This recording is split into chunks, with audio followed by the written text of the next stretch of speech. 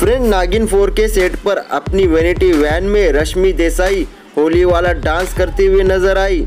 जी हाँ रश्मि देसाई होली के famous song रंग भर से भीगे चुनर वाली गाने पर कमर मटका रही थी और होली को एंजॉय कर रही थी। हम तो ये देखकर यही कहेंगे, मानना पड़ेगा रश्मि, आप मल्टीटास्कर है। सेट पर शूट भी कर रही है और साथ ही साथ होली फेस्टिवल का फुल एंजॉय भी कर रही है।